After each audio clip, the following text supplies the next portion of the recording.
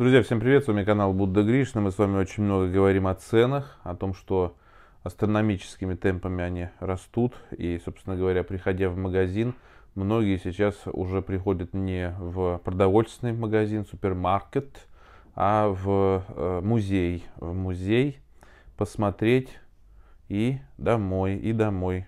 Слюни выработались, глотнули и домой, что называется.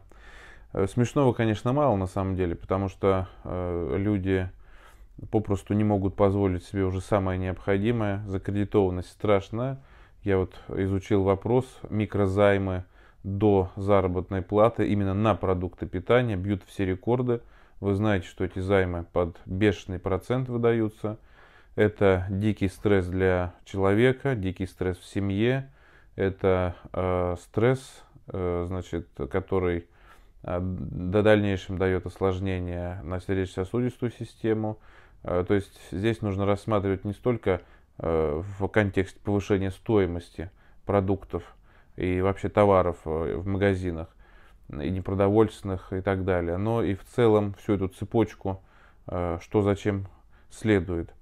Значит, коммерсант сообщает о том, что упаковки продуктов в России начали уменьшать из-за роста цен. Ну, самое простое, что можно сделать, это не пытаться сдержать рост цен, когда сдержать его попросту невозможно – а уменьшать упаковки. Ну, например, вместо значит, килограмма там 800 грамм. Цена та же, да, цена не растет. А потребитель получает не килограмм, а 800 грамм. Вроде не настолько меньше, там, ну 200 грамм, чего там. А э, значит, производитель получает возможность продать в сети, сеть, соответственно, это, конечно, друзья, вы понимаете, скоро бумаги там сколько, не, не сколько там, 62 метра или сколько ее в мотке. Э, будут 10 метров ложить, например, да, и будем растягивать удовольствие, собственно говоря, э, на подольше. А потом, возможно, вообще, знаете, как сделают, чтобы э, матки много не обрывали бумажки туалетной, попросту сделают ее, наверное, в такими квадратиками небольшими, чтобы вот на палец просто вот хватало прикрепить небольшими квадратиками, так, в упаковочках таких, знаете, чтобы прям открыл упаковочку, и там сантиметр на сантиметр, вот, и таких там 30 штучек. Я сейчас, кстати, вот скажу, и это кто-нибудь услышит. Будем потом. И еще какой-нибудь примут нормативный акт в плане того, что, э, значит, э, вот, как нужно этим пользоваться. И Малышев обязательно об этом расскажет нам. В российских магазинах в последнее время стало появляться все больше товаров, чей размер отличается от привычных. Производители продуктов из-за роста цен начали уменьшать их объем.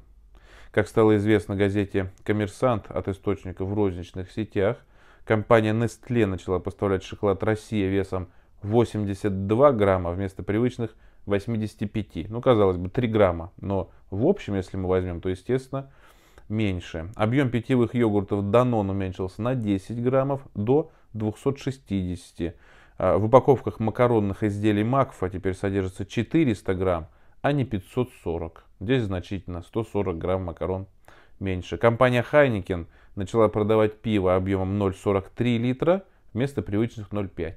Алкоголь табакурение вредит здоровью. Значит, в целом более чем пятую часть новых молочных позиций составляют товары со сниженным объемом. Опрошенным издание, опрошенные изданием производители сообщили, что таким путем пытаются сохранить ее доступность. Меньшая упаковка не так заметна, как повышение цены, и не придется экспериментировать с рецептурой продукта ради экономии. Накануне Минсельхоз обрадовал сектор приз на барабане возможным подорожанием молока, хлеба, сахара и овощей. Ну, естественно, именно продукты первой необходимости, молоко, сахар, они и не растут в цене, да. А, значит, друзья, что я хочу сказать. Естественно, сейчас зайти в магазин просто страшно становится. Цены растут как на дрожжах. И еще раз скажу, что э, я получаю от вас комментарии, читаю, это просто страшно читать, когда вы пишете о том, что заработная плата там 30-35 тысяч на семью, и э, там из четверых человек, например, двое взрослых, двое детей, ну, я имею в виду совокупный доход 35-40 тысяч. И на эти деньги нужно, во-первых, заплатить коммуналку, э, значит, необходимо приобрести продукты питания, лекарственные препараты и так далее. А сейчас в магазин, если раньше вы могли зайти, там, не знаю, 500 рублей, вы действительно что-то могли, 1000 там, рублей что-то приобрести на эти деньги, сейчас э, эти деньги вы оставляете и выходите в практически в два раза с меньшим объемом, э, в два раза пакет меньше. Ну, вот и все. Поэтому, конечно, это чудовищно и э, самое, самое главное, что в этом контексте стоит сказать и о росте э, пенсий и э, заработных плат, а его практически нет. Вот подписали о росте пенсий, повышении пенсий на 86%. Ну да какая инфляция? Мне кажется, я предполагаю, она далеко не такая, как сообщают официальные органы, официальные, да, значит, Центробанк в частности. Если говорить о зарплате, мы же говорим не только о росте цен. Вот сейчас на продукты питания да, стали уменьшать. Ну, еще раз говорю, скоро придем, все будет вот в таких вот э, микро, микро упаковочках стоять по той же цене. Только в микро.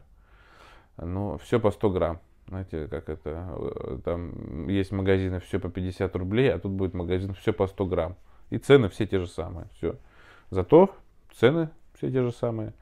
То есть это, знаете, как, э, значит, не быть, оказаться называется. Это ужасно. Ну а цены, например, на жилье, если мы возьмем, они бьют все рекорды и э, попросту уже не то, что невозможно с помощью заемных средств еще чего-то приобрести. Вообще уже просто невозможно становится приобрести квартиру, потому что э, даже в ипотеку ипотечные ставки растут, все растет, зарплата не растет. Да? При этом Э, Минтруд сообщает о том, что пенсионеры, работающие, совокупно пенсия плюс работа получают в стране в среднем 66 тысяч рублей. Я ни одного такого пенсионера и не видел сам, и от вас тоже не получал ни одного такого человека сообщения о такой пенсии. Получал максимум, по-моему, что-то там в условиях Крайнего Севера, кто-то писал о пенсии в 30 тысяч.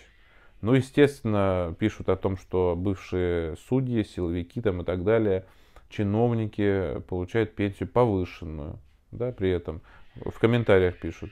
Поэтому, друзья, я бы хотел сказать, что, конечно, эта ситуация довольно а, плачевная, не просто напряженная, а плачевная, ибо а, она касается каждого из нас, потому что мы все с вами что делаем? Потребляем продукты питания, и, естественно, приходя в магазин, покупая, мы просто приносим домой показуху, то есть как бы цены не растут, но домой мы приносим продуктов меньше. Соответственно, мы, их нам хватает на меньший срок, либо мы вынуждены что делать? Экономить.